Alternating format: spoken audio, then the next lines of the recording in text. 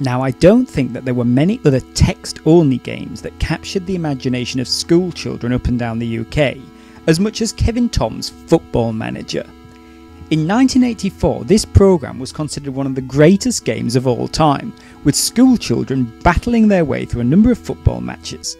From the bottom of Division 4 to the top of Division 1 and winning the FA Cup on top, Football Manager brought millions of us many hours of happiness and this is said as someone who doesn't even really like football. Playing it now, it still retains some of that allure. As much fun as the game itself is the additional customizer program, into which you can add the names of your friends or work colleagues, allocate skill levels to, and then buy and sell in the main game by loading them into it. It would have been nice, of course, if the game had included at least a small graphical depiction of the match itself, and by modern standards, text only football is always going to be a bit boring.